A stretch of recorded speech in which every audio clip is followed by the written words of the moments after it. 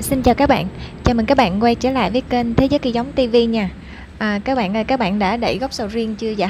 Bữa nay thì à, chắc đã rất nhiều người đẩy rồi ha. Thì đây là cái phần chia sẻ của anh Ba Tiến ở à, Cai Lậy Tiền Giang Chia sẻ về các cái à, lưu ý khi mà đẩy gốc xử lý ra hoa cho cây sầu riêng. Trời, bây giờ thì mời các bạn cùng thảo vô giường của anh Ba Tiến xem các anh các chú đang làm như thế nào nha. Em chào anh ba. Dạ, thì không biết cái mục tiêu mà mình đẩy gốc sầu riêng cái chính nó là gì anh ba ha mình à, đậy sầu riêng để mà mình à, ngăn khi mưa à, mình cắt nước đó là như à. trên mình đậy ở trên là tránh mưa nước xuống dạ. mình rút nước cạn với đìa với mấy cái học mình rút cạn hết để cho nó xử lý nghịch mùa dạ. dạ.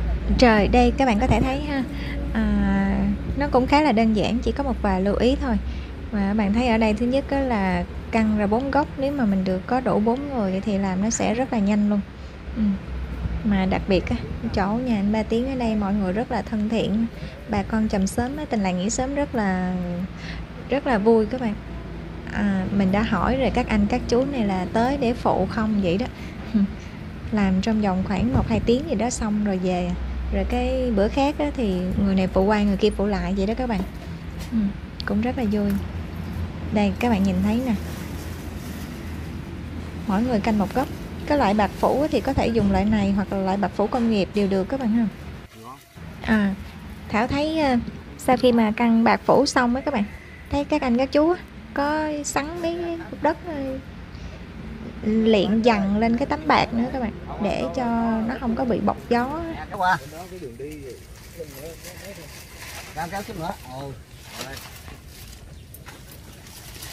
thắng rồi thắng rồi đây này các bạn các bạn nhìn thấy rõ ha. Tấm bạc được gia cố bằng cây cọng kẽm dạng chữ U như vậy các bạn.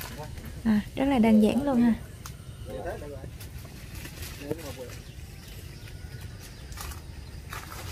Cái ni lông này mình tái sử dụng lại được hả anh ba ha?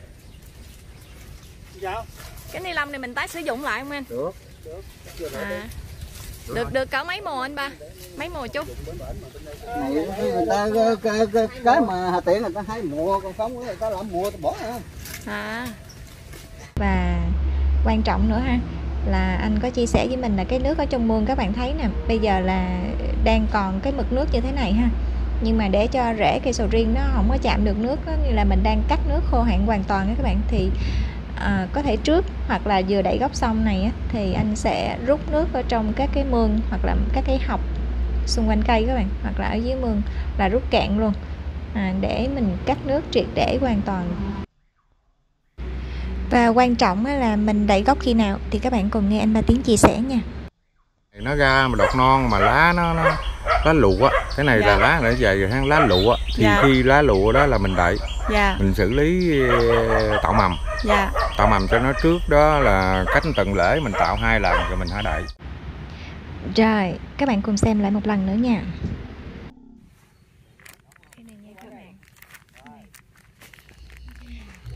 Trời, các bạn thấy ha Đây, đây là cái cọng kẽm à, Đính dạng chữ U các bạn. Để ghim kẹp giữ bốn góc của cái tấm bạc phủ các bạn ha. Còn ở trên này là có một ít đất mình lên để mình dằn tránh bọc gió. À, Rồi Còn ở trong đây thì các bạn có thể nhìn thấy nè. Đây, đây là lớp băng keo Quấn quanh góc đó các bạn. À, Rất là đơn giản luôn Tận dụng những gì mình có sẵn á. Ngon bỏ rẻ luôn các bạn ha.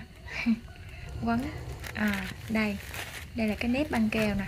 Dán dính cái lớp mà giấy bạc phủ mà mình mình mình cắt rời khi nãy các bạn rồi các bạn hãy cùng nghe anh ba tiếng chia sẻ xem khi nào mình thể dỡ mũ được các bạn ha. Rồi à, khi mà mình nó cảm thấy mà nó ra được à, thấy mình ra nó ra hoàn chỉnh rồi cái bắt đầu mình dỡ mũ ra. Dạ dạ, dạ rồi cảm ơn ba tiếng ha các bạn. À, thì các bạn biết á nghề nông mà à, không có cái cách làm nào tốt nhất mà chỉ có cách làm nào phù hợp nhất ha. Thì hy vọng rằng những cái chia sẻ à, trong video clip này à, nếu như các bạn à, cảm thấy phù hợp thì có thể áp dụng thử. Và nếu thấy nó hữu ích thì đừng quên bấm like share và đăng ký ủng hộ kênh thảo nha. Rồi xin cảm ơn. À, cảm ơn anh ba tiếng cảm ơn các bạn. Xin chào và hẹn gặp lại các bạn ở video clip tiếp theo. Trong video clip tiếp theo thì thảo sẽ chia sẻ về các cái lưu ý khi mà dở mũ các bạn ha.